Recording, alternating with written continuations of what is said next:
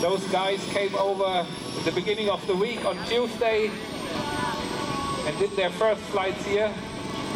Thank you for coming over, our friends from England, I always have to say. Und natürlich unsere Freundin aus den Niederlanden. Sag du mal, dass auf Holländisch Thomas, du kannst das. Bedankt, bedankt Bedankt, bedankt hier für die Freunde von Holland. für die Freunde von Holland. So. Have a nice flight, John and John. Ja, guck mal, guck mal.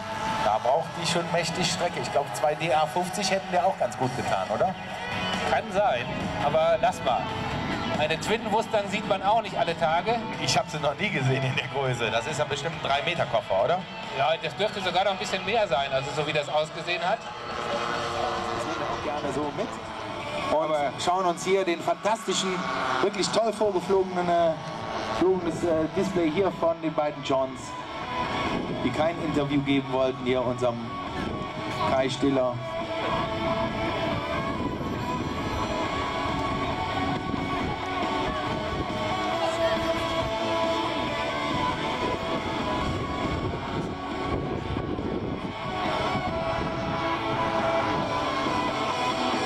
Es die auch beim Original, Thomas? Ja, ne? Die gab es äh, im Original auch, aber ja, ich hatte gedacht, es wären zwei stehende Latten.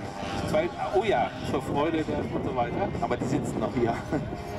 Die zwei stehenden Latten. Sorry, wir sind wieder viel zu früh. Etwas leichter Crosswind, John and John.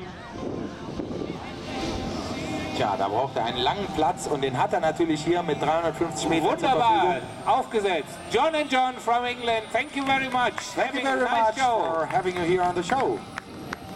John and John.